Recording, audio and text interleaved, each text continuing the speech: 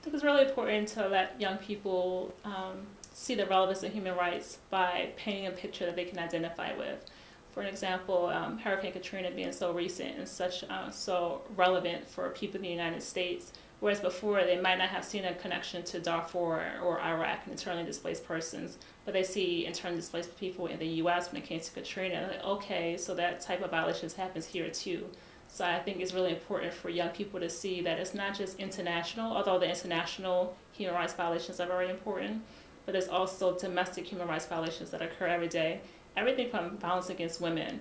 A lot of people think that, oh, that happens in other countries in Asia and Africa and Latin America, but oh, yeah, it's happening here too.